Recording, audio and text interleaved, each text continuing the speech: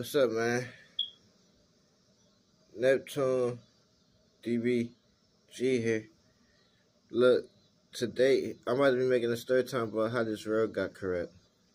Alright, first I'm gonna start off with Adam and Eve. Alright, now I asked my father Yahweh because he say I'm God. I mean, he keeps showing me that I'm God.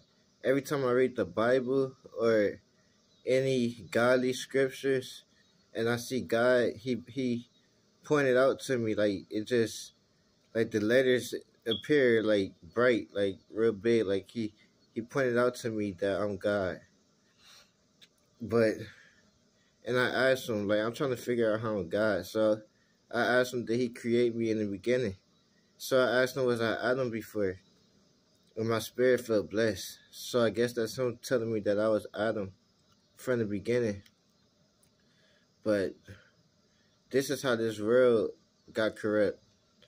When Father Yahweh, the Lord, when he created Adam and Eve and placed them into the Garden of Eden, Tony, the devil, Satan, that's Yahweh's brother.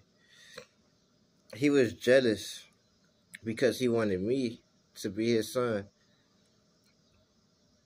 So he told Eve to bite from the tree.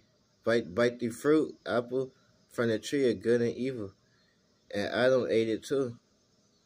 And once they ate it, it changed the whole world. Like all mankind rebelled against the Lord.